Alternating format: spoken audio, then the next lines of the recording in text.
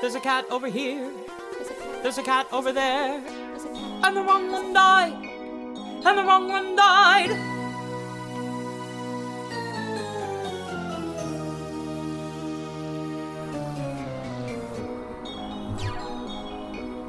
Welcome to the Wrong Cat Died, the podcast breakdown of the catastrophe. I'm your host, Mike Abrams, and today we have another amazing guest.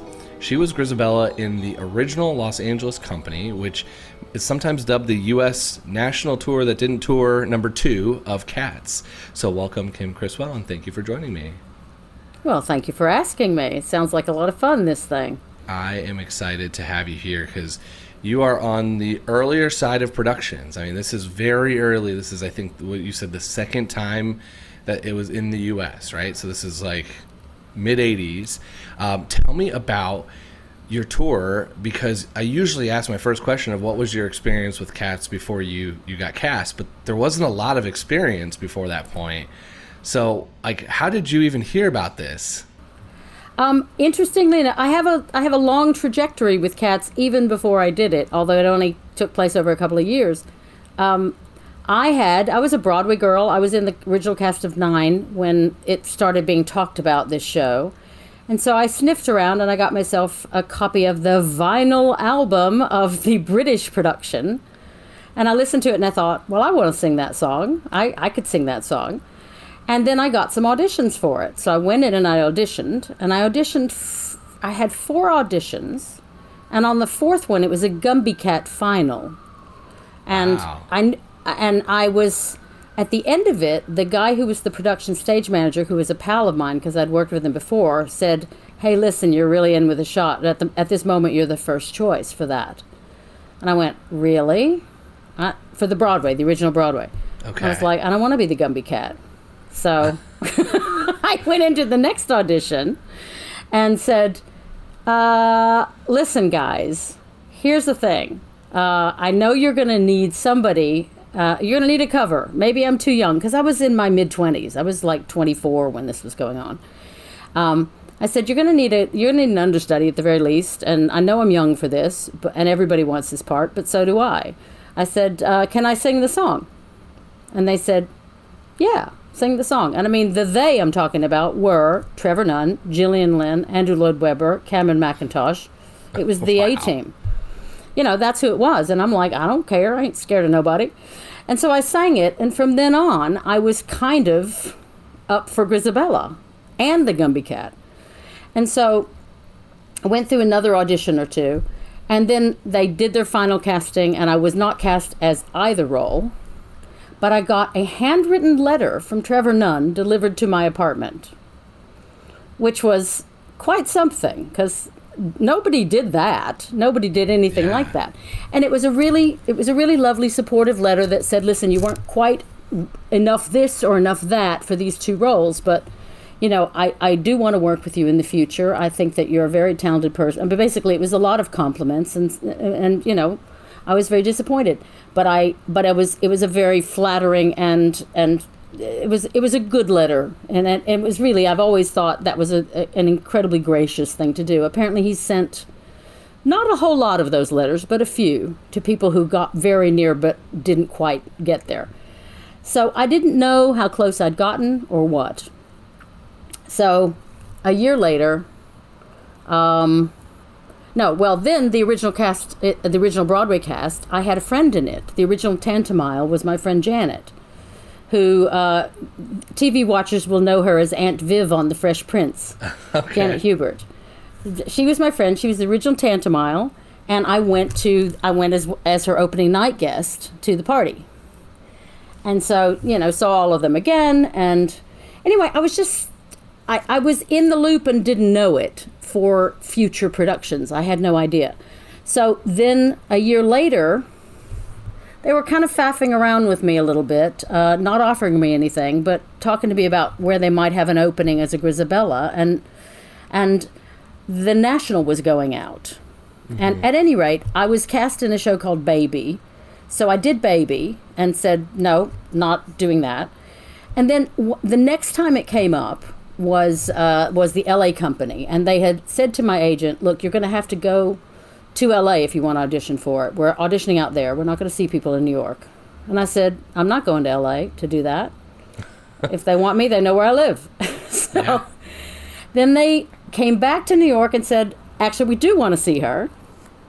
And there were three of us that they brought in. And I knew the other two girls. One of them had been one of the Avas in Evita and very talented, very good. And the other one was a good friend of mine from Nine. They made them go in first, those two, and sing Memory.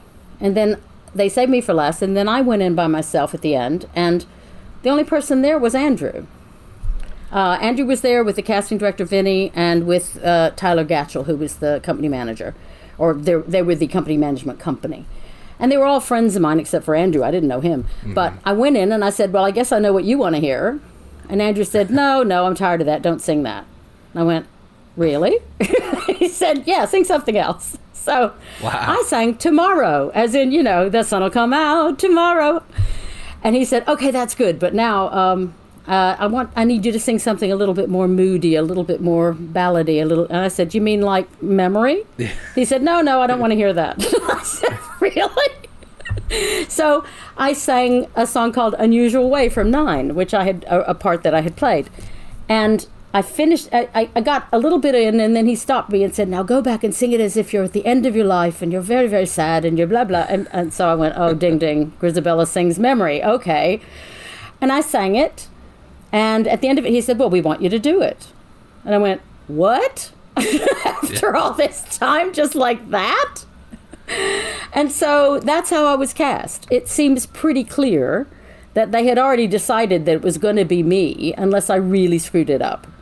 So um, I was I- cast. I love that they you almost were challenged too. Like, don't sing memory.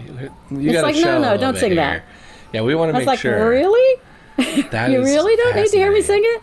So you So- okay? So it's what was the time? That was a couple years from start to finish. There, like how long was that? Yeah, li- um, the, the Broadway Cats, like nine opened in uh, May of 92, 82. Um, Cats opened in the fall. And so the auditions were that year, I think. Um, okay. So it must have been two years later when this is going Two on. years. It was like a year and a half, two years later, about. Because tell it, we started rehearsal in the fall of 84 okay. in LA. So, so tell me a little bit about at this point, like what is the? I've heard a lot of the fan response in this at this time frame. What's the like acting and Broadway community response to Cats in this? Was this like everyone? I want to be in it. I need to be in it, or was it a little bit of like this weird kind of show off onto the side? Like, what was the community that's performers thinking about it? Well, nobody knew what it was yet, really, because we hadn't seen it for the original. I mean, by the time I got around to LA, we'd all seen it. But, but uh, for the original one, everybody wanted to be in it. I mean, it was gold dust to get an audition. And so I was lucky enough to get an audition in the first place. In fact, I'll tell you what I sang at my first audition because you will get the beauty of this, although they did not. I, I was like, I'm going to pick the perfect audition song for this. I found this song called Paris is a Lonely Town, which is written by Harold Arlen, the same guy who wrote Over the Rainbow. Great at ballads, you know, it's a sort of moody, Paris is a lonely town kind of song, sort of in the same mode as Memory. And I went in and sang that, and the, the clincher of it is it was sung in an animated film by a cat character played by Judy Garland called Mewsette. I thought, this is the perfect song. So I went and sang that whole thing, and it went completely over their heads. None of them knew anything about what that was. but I mean, obviously they thought I sang pretty well, or else they wouldn't. It wouldn't have gone any further. But none of them got the reference. I was being too clever for only my own self. it was completely wasted. One of those, yeah. It's like if if somebody would have got it though, it would have been. I know. I would Would've I would have felt like a genius, but I didn't end up feeling like a Yeah. genius. Anyway, desired effect. Got a call back. That's all that mattered. Exactly. But um, yeah. So you know, a couple years later, it's L.A. I go out there. I've never been to L.A. Um, and I realize that pretty much everybody was cast in the LA theater community. So I was the one they brought in from out of town. The New Yorker And I cast for wasn't- Isabella, of course. Yeah, I was not famous. I was not well known at all. So it was quite a daunting thing because, you know, all those people in that company with me had auditioned to be Grizabella. Yeah. they were like, "Well, well, who is this you got then?" Um, we all bonded hugely and became a big family. But it was it was very daunting for me at the beginning because I realized that it was pretty uphill. Uh, they all, you know, they they all had they they they wanted to know why'd you bring this person in from New York? I mean, who is she? I love you it. know, and critics and people like that were quite, why didn't we get Betty Buckley? You know, blah, blah, blah. Well, you know, if the Shuberts had wanted Betty Buckley to do it, she would have done it. So they obviously didn't. They wanted me, and that's the way it goes. You got it's very in character. You got to bring the outsider to come in to the, the tribe for for Grizabella. Exactly. And it helped that I had. It helped that I had had so many friends. By then, I'd had friends in every company of it. And there were only two companies, but I had friends in both of them. And for instance, the first day of rehearsal, my friend Kevin, who had been Old Deuteronomy in the Boston company, which then became the first national tour, mm-hmm. had said, Listen, when you go to rehearsal the first day, make sure that you're wearing really nice perfume. And I said, Why? He said, Well, you're going to do this improv. Gillian is going to have you do this improv where everybody crawls around and you're going to crawl all around and you're, you're hanging back. And then you essentially you'll, you'll all end up in one great big pile. So make sure you smell really nice. so I did. I was like head to toe perfume. And we did end up doing that, and we ended up in this big pile. And then, you know, when the pile broke up, somebody near me said, Who is that that smells so nice? Yeah. I said, It's me! I was warned. so uh, it was just the things you do in cats, it's just craziness. I love it. So that's the Felinity School, right? And like the sexual clump. I've heard a little bit about these things. Is what is what they, Oh, yeah. I've heard. I, I actually like to go back to this point in um, in the rehearsal process for you because the thing that I'm most fascinated about in this entire show is how you're explained the loose backstory of your character and it seems and i think you alluded to this earlier when we before we started recording that everyone seems to be told slightly different things about their character Yeah, I think, you know, when we first started, the first day we were supposed to have Trevor Nunn with us, but he had been off doing this movie called Lady Jane and it had run over. And so he wasn't with us at the beginning. We had a we had a, a you know, a resident director in his place, basically reconstructing what he did in the other companies. And he had sent a very very long video where he had done at least 10 minutes on each character and go Wow. and Coricopat. Well, Coricopat has a secret. you know, it's like that for two hours. Our one of our first sessions was sitting and watching the video of Trevor talking to us and telling us about our characters. I and do I remember what he said about my? I, I don't remember what he said about my character. I don't. Not. It's been forty years, but uh, it. You know, it. Everybody in it was so jazzed because it made everybody go, "Oh, I, my character's important. I have a whole story. I, I mean, it's all woven all together." It took about two months for the company to realize that some people were in the chorus. some of us were principals, and some were in the chorus. I, took a while for this magic spell to wear off, and they go, "Oh, I don't have a solo, do I? I'm in the chorus." Oh, I love yeah it's everybody's got their full part and family it's you know it's it's you gotta there's deep backstories for some of these for all these characters what do you remember from this even not just exactly what from grizabella but what stood out as you were hearing two hours of trevor nunn like what what did you go really what how how did this come up like how did you think of this Um, I, I really can't remember what he said about my character. I just remember thinking, "Wow, he's gone into great detail in his head for every single character, and that's impressive." I was impressed with that. I thought that was amazing. Um, what I do remember about rehearsing it was not knowing what the words to memory were meant to actually mean, because it's a series of kind of vague images. It's it's not they're not actable lyrics. They're not you know they're not active verbs and things like it's it's not the sort of thing where you go and now i'm going to run to the wall and you know it's not any of that. Um, it's images. It's a series of images. And while we were rehearsing it i felt very cut off from everybody for quite a while because we would go in and we would do a, a dance warm up every day. Because of course i had to be in the opening as grizabella mm-hmm. is always in the opening section as a generic cat who has no name. But they she's named him later. They named they named that cat later. Did- it's named baby grizz in 2016 they didn't name her in ours. she was she was just generic cat with a different wig on gen- and a yeah. unitard, which was terrifying because I don't know if you've ever put on a unitard and stood in a room full of really skinny dancers, but it is not something that's pleasant for those of us who don't look like that. There's a It's reason like, I oh, haven't man. been. Uh, I have not done a, any production, or I mean, besides actual talent of being, not being able to do any of this. But no, I have not put on a cat's costume or cosplayed this because I do not need to uh, be in a unitard. Okay. Well, I didn't either, but I had to. Yeah. so I, it wasn't something I needed to do on any kind of, you know, I needed that for myself. And also, the costume the costume fitting was one of the most terrifying things I've ever done in my life because you go in, at least at that point, you'd go in and you'd be in a room with John Napier and he would put mm. you in a white unitard. Everybody's like- Victoria. Well, it but it's just like you know anybody who doesn't have the most perfect dancer body in the world is horrified at the look of themselves in a white unitard. I was like, oh god, and then he just gets a magic marker and he starts marking. That was how he created people's shadings. Wow. He would he would color it in with a marker on your white unitard so he'd know what to do.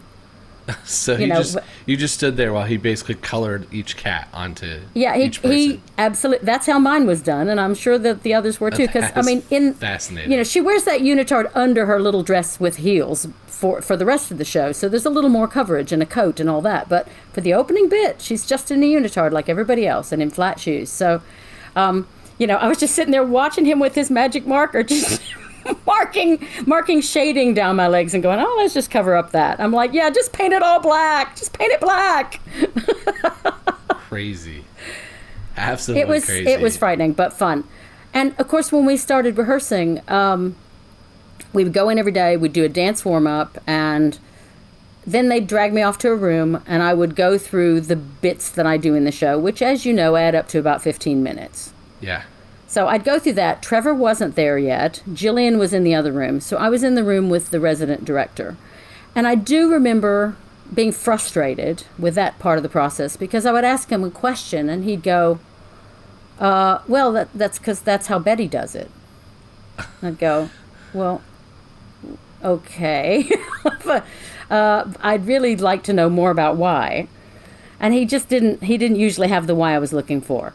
Um, so he'd go, "Oh, Lori does that. Does it that way in the nas- first national." And of course, I know I knew. Be- I didn't really know Betty, but I knew Lori. And I'm like, "Well, shouldn't I make my own choices?" Um, there was one point where he was in the remark the cat section where he'd say, "Now listen, you know, you come in and they're they're horrible to you. They come up and scratch you, and but you're never angry."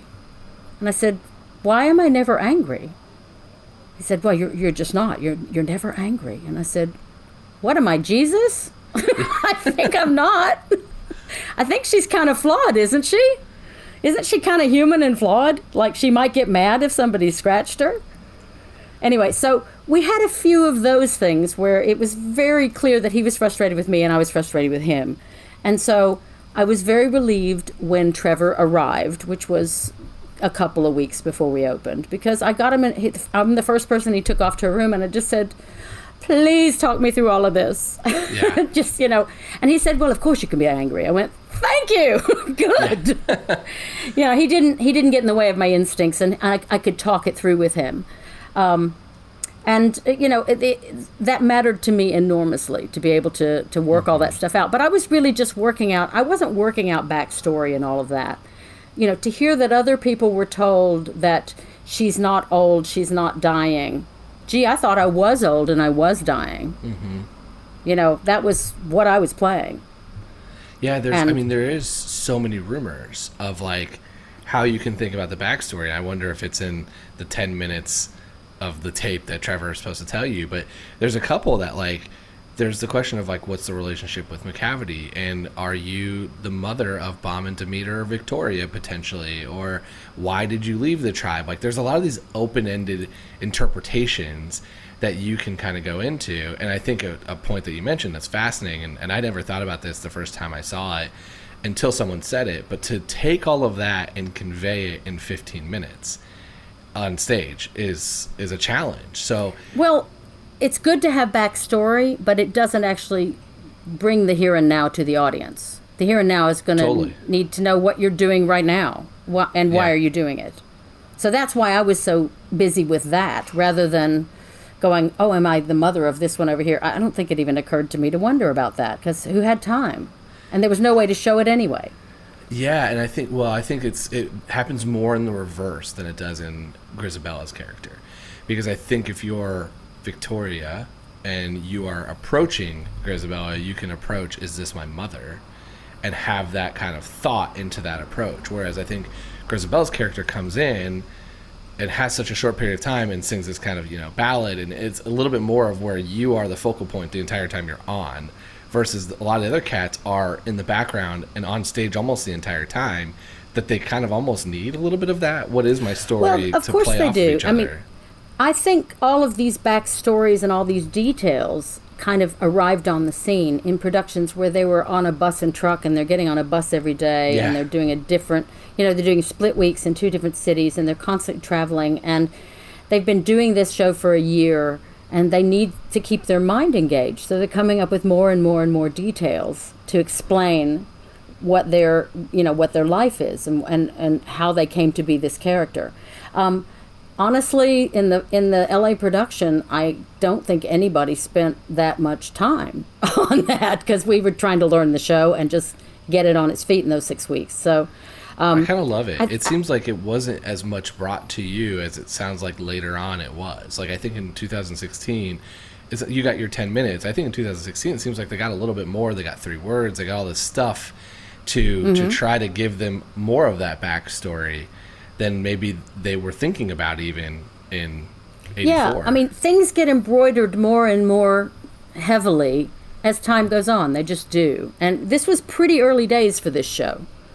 Uh, Yeah. You know, when you when you figure there's been a London company and then there's been a Broadway company and a tour and then us. And we were at the same time as the one in Sydney. So we were the we were the first five companies, and we were the ones we were the last two that us and uh, us and the Australian one were the last two that the original A team put together, meaning Trevor, Yeah. Gillian, Andrew, um, you know, the original uh, Stanley Lebowsky, the original people. From from then on, companies got put together by assistants and by, you know, by by by by the next level of people overseeing the show. So we had the benefit of the original team, and the original team was learning as they went too. Of course, they were. Yeah, because there's there's a lot of I mean the beauty of the show is, is it's an entire like family and scene and group is being built, which means that that I don't think anybody probably would have ever needed to think about all the pieces that could have been the backstories, everything, because it's not relevant in a lot of cases unless you're me or the super fans of the junkyard trying to figure out this stuff because we're recording 80 plus episodes 90 episodes trying to figure it out for other people but to Uh-huh. your point you don't you don't need it in some cases Well, and they're not carbon copies, the companies. Uh, Yeah. The choreography may be the same. They try to keep it as much the same as they can. But you may watch a road tour where Bombalurina has decided that, you know, this kitten over here is her long lost sister. Yeah. And that didn't that's not being played at all on another company. It's just because those actors they're playing on stage with each other all night and they're Yep. filling up the space with stuff that's fun and they're Yeah. creating their own lives. But no two of them are going to be the same from company to company. The backstories are never going to be identical. I have loved that because when you look at the rumor mill, a lot of it, as I've uncovered some of the rumor mill, whether it's true or false, a lot of it has stemmed from me and this other cat were friends as actors before the show. And now our characters shouldn't be friends in the show, but we are, and so we kind of play off of the fact that we are. We have a great relationship, and all of a sudden it turns a little bit of the super fans on their head because they're like, these two cats shouldn't like each other, but they clearly are having a good time, and it's purely because of a relationship as two actors, which is Exactly. There's two levels thing. of these kinds of shows. There's two levels of stuff going on. There is the level of what you're playing and what you're supposed to be playing, and then there's the level of people just having fun. Yeah, And there's that's how you keep a long run alive is to have fun and find ways to entertain your, each other and yourselves that don't hurt the show. Uh, ideally, although it's not al- it's not always that pure, But I mean, like with ours, with the Pekes and the pollicles number, which we all just rolled our eyes and went, "Oh, I was so glad I didn't have to sing that because Yeah. it's a, a nightmare of words." And you know, our poor Munkustrap. I mean, he has to do deliver that and not go up on it. And our guy Mark was fabulous and wonderful, but every so often he would get in the wrong verse and trip on a word. And we had a couple of very naughty cats that would sit down front with their backs to the audience and hold up little tiny ratings cards that would go 7.4. That- that's what I mean. That's what they get up to. I love You know, if management caught it, they'd, they'd stomp them flat. But there was stu- there was always playing going on. And in a show about cats, that's not the worst thing in the world because cats do play. We're going to take a quick break for some messages from our sponsors, and then we'll be back for more of The Wrong Cat Died. That is what I wanted to ask you next, which is what are some of the memorable stories or quotes or lines or stuff that you remember from from your group? Um, my favorite moment from uh, from from when Trevor had gotten there, there was a moment where they were giving us notes, and of course he he went back to the beginning of this show with Gillian Lynne, who was Gillian. Man, she was a force of nature. I just loved her. But she was very, very interesting and odd and unique. She was not like anybody else I've ever met. And she had her own way of looking at the world. And so they were sitting there talking about the opening number, and, you know, all of us with our jellicle cats and singing and dancing and carrying on. And she said, Oh, at this point. And, and I mean, I remember Trevor's face was the priceless thing because she said, Oh, at this point, you're all looking over here, and then you hear something over there. And you go, Oh, it's nothing. It's just a couple of cats having a bit of a fuckety on the roof. then there was, then just Trevor's face was like, Wow. was kind of like, There she goes again. it was kind of like that. Um, Unbelievable. because you know she she was capable of surprising him too. Um, he just was like, wow, what goes on in her head? Um, other things. There was a funny audience thing that happened once that just cracked me up. Um, when I would sing "Remark the Cat," of course I would come out. And you know, for the first time, you see Grizabella, and she comes out, and everybody hisses at her and spits and scratches at her, and she sings a mm-hmm. snarky little song to go get away from me. And then she goes out while they sing the Grizabella the Glamour Cat rest of it to explain who she is. And she goes wandering out through the audience. And I would go out through the audience, and then I'd wander through the. I had to wander through the lobby, and then go back around to backstage, and get back to my dressing room because I didn't have to do anything for another half Yeah. hour. So I'd go back and get on my princess phone and sit on my little pink sofa. I mean, I was so spoiled. Anyway, I'd go out and uh, usually I'd talk to the bartender out there. And so I was like, hey, how's it going? How was it? He said, listen, I have something great to ask you. I said, what is it? He said, well, last night I had a lady come up to the bar and ask me, in all seriousness, at the interval, she said, I don't know how to ask this, but what is a genital cat? I said, uh, we howled, and I went, Oh, gonna man. give them, gonna need to give them a note about the diction, I think. I said, well, that's what's so funny. These cats don't have any genitals, none at all. It's all squashed into nothingness. We're all Ken dolls and Barbie dolls. That is But- really funny. she was hearing genital cat through that whole number. That's what she thought we were singing.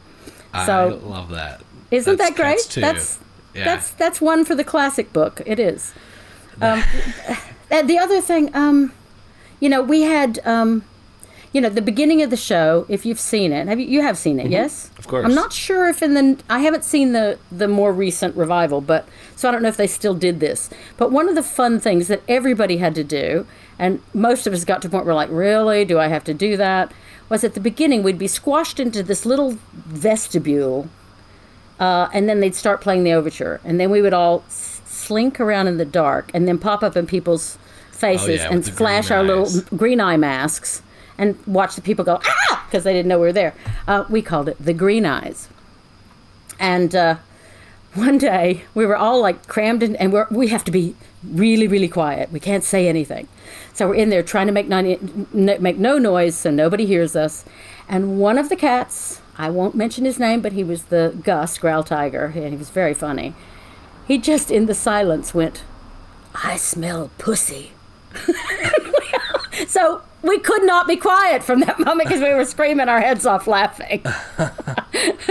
um, just, you know, you may need to cut that out because that's a bit vulgar, but it was funny. Will, nothing is Um, we cut. just- that will It- not be just cut. not that well. It was funny, and uh, you know that my memories with cats uh, of cats are laced with stories like that of all of us just playing and having fun. We had so much fun with each other, and we all we liked each other.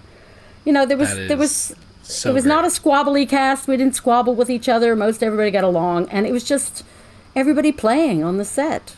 So I've I've heard that almost with every production I've talked to, and I've always wondered because I, you know I I equate a lot of this as someone who's never done theater. I equate a lot of this to, and you can see all the stuff behind me, sports teams, where I've put mm. on teams that all got along super well, and I've put on teams that didn't get as long as well. And I think that that's the same thing in theater. Like you have casts that all get along super well, and there's some that probably don't.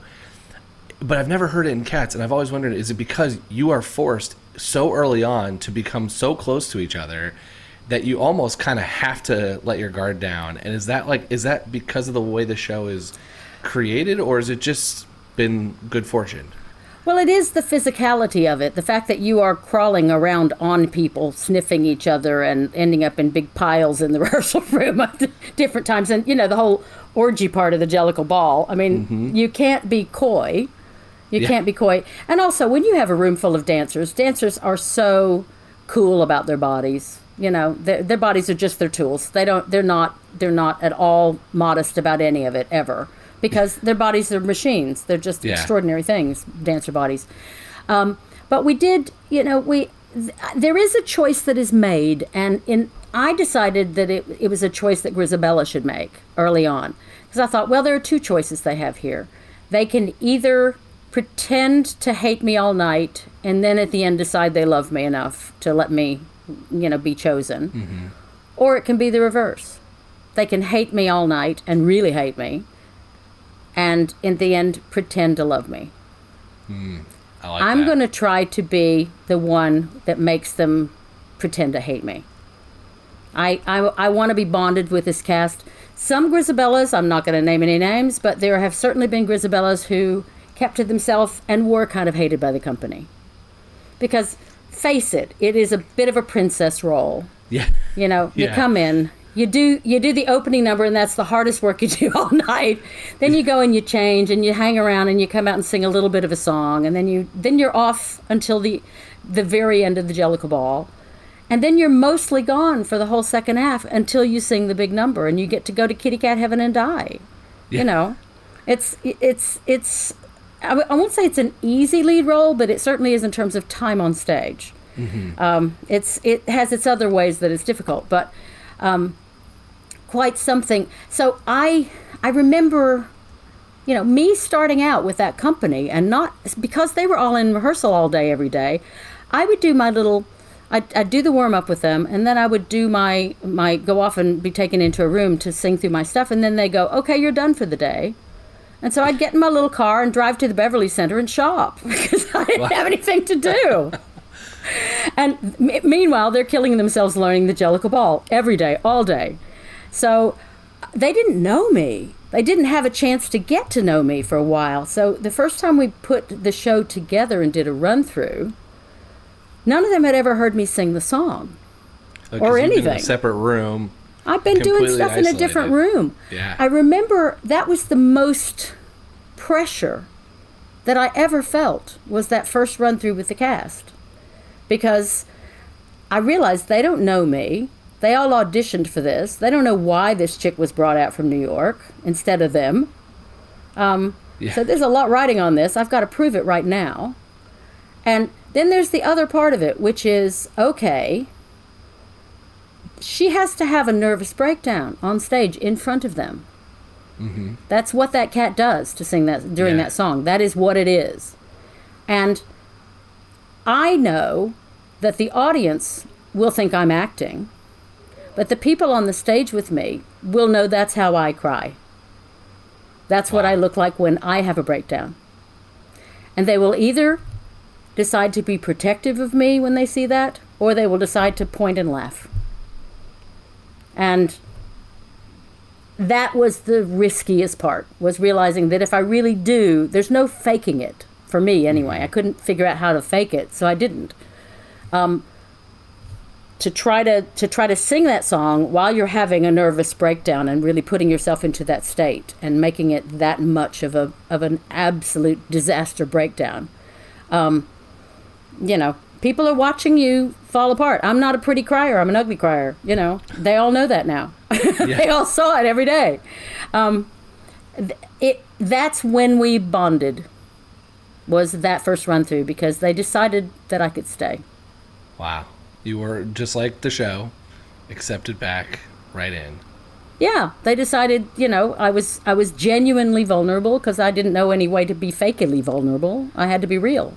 And thankfully, they didn't decide to kill you after, which is the yeah, next step. and they they they went to my level and treated me with respect and with with caring. And you know it's just it's very vulnerable to it's a kind of nakedness on stage that if you ever have to do. It's incredibly freeing because once you've done that and having to do I did it for a year and a half. Once you have figured out how you do that and then you have to figure out how you keep doing that mm-hmm. because thinking about your dead dog in third grade is not sad anymore once you've used it a few times yeah. you have to constantly be you know getting yourself to that place before you go on to sing that last song um, but they man my company was with me we bonded from then that is amazing.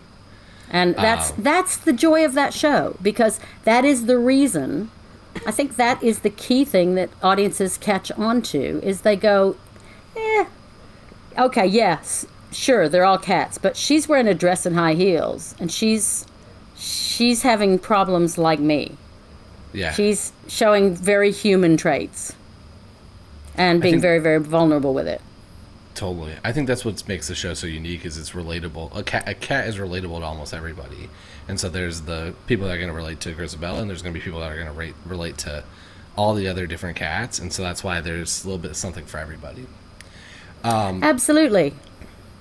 I want to switch gears and do a quick rapid fire before we talk about the, the million dollar question. Um, Okay. So, if you were not going to play Grizabella for one night, if you could just be any cat, which one, which track would you wish you could have done once? And I will say suspend male, female, like just which cat, if you could, if you could dance, if you could sing, if you could do anything, forget if you could physically do it or mentally do it or anything. Just who would you want to do? I think I probably would have liked to be Griddlebone, you know, the the woman that sings with Gus.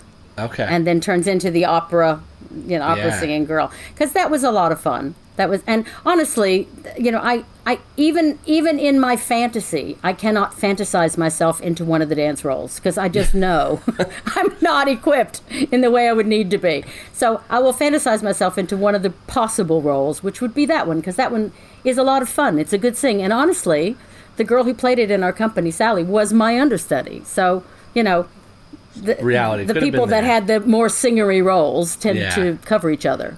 I always I realize that I give that disclaimer because I'm talking to all these extremely talented people. It's for me. It's because I can't sing or dance or do any of these roles. So I'm giving the disclaimer as if like, all right, so if I was just blessed one day with being able to sing or dance, which one would I want to do? But um, who are your favorite and least favorite characters in the show? Um, I really like. I, I can't stand Bustopher Jones. I think it's such a waste of space. It's like, oh, please don't make me watch that. And it's not the fault of the actor. It's just like, ugh, you know, they could cut this. I wouldn't miss it. Yeah. Um, but most favorite um, characters. I do like I like Bombalurina. Everybody likes her because she's just out there. She's Mm-hmm. like I'm not I'm not going to apologize for who I am. I'm Yeah. I'm sexy. I want you to look at me. Can you see me? Here I am. I'm going to wiggle my butt in your face if you can't. Yeah. You know, she's she's right out there. I like that. it. what is your favorite song from the show? Memory, of course. Yeah. Although I love the moments of happiness too. Okay. I love it. Um, since you did perform in LA the entire time, which cat do you think gives off the most uh, LA vibes? Oh gosh. Uh, Tugger. Tugger, Rum Tum okay. Tugger. I was thinking bomb. So, I, and I, but I think both of those kind of have the same Yeah, kind of you know, persona. Tugger, you know, and, and he was an LA guy, and he was married to a TV star, and he was just, you know, he he was he was quite fabulous, but he was very LA, very LA. I love it. All right, so the million dollar question.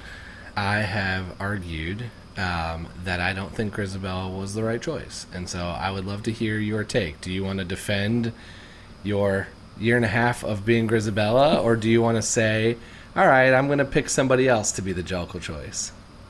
Well, uh, yeah, I'll.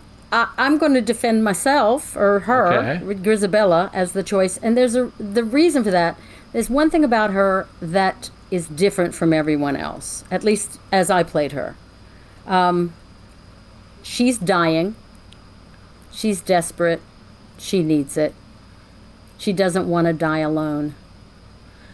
So you don't think she will make it another year? She's got. She's got to go now. Okay. No, no, no. I mean, I think that during the song, you know, when she's singing Memory, you know, there's a point in the middle where she actually falls down. Mm-hmm. That's not because she's being histrionic. It's because she can't walk. Okay.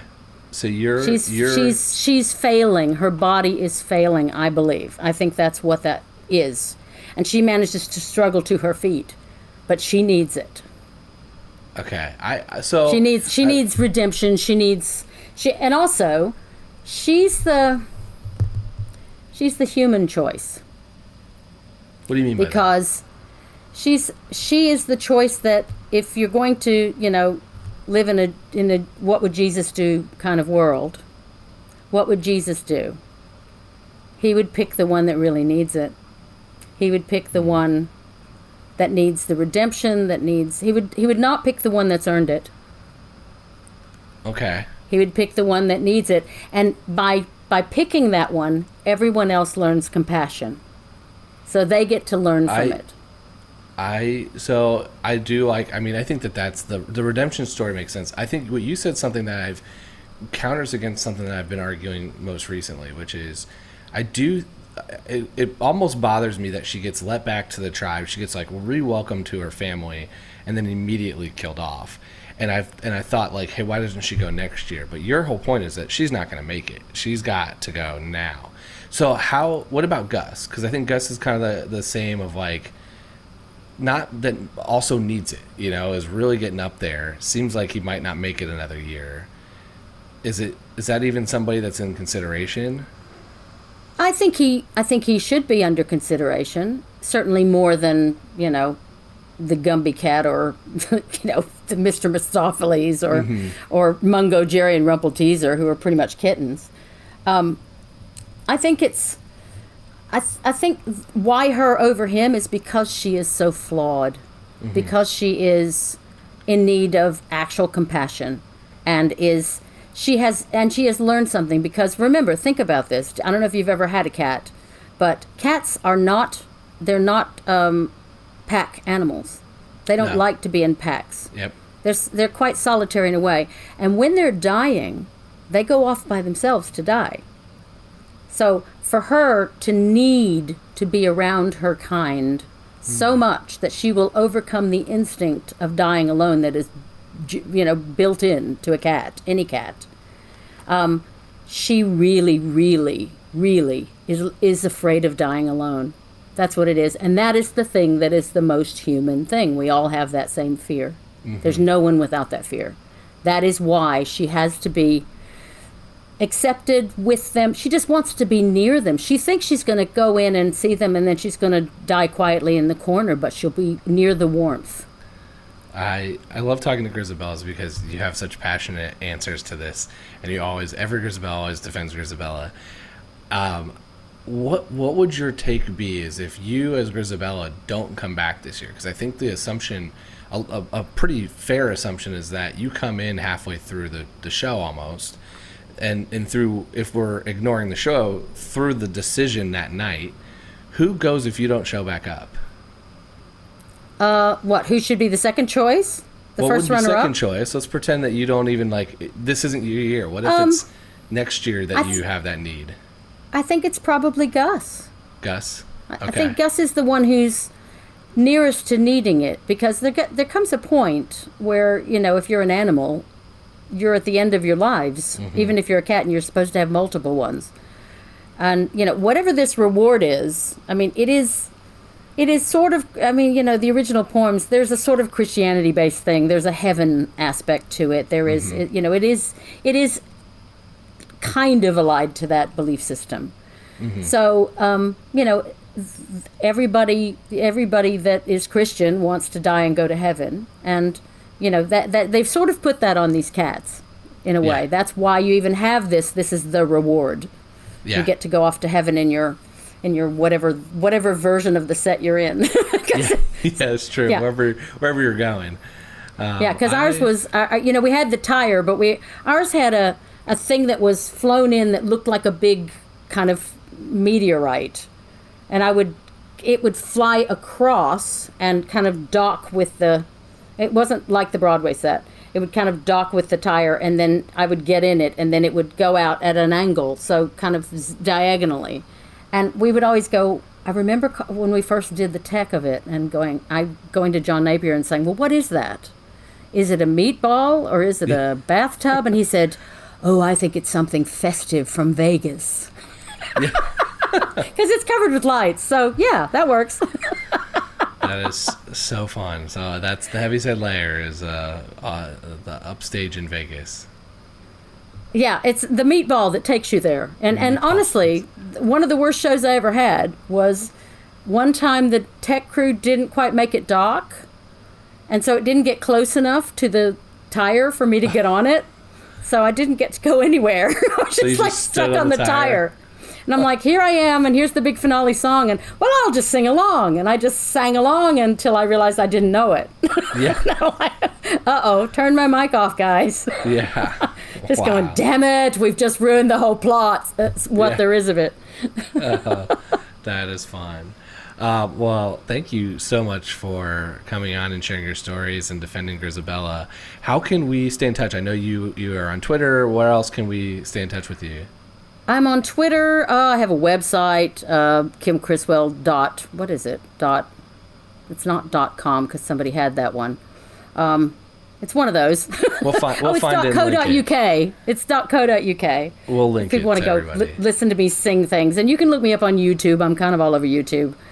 Um, you know, uh, but I live in London now, so uh, uh, you know, it's. It, I don't know how much of what I do over here gets back across the pond to This- to you people over there.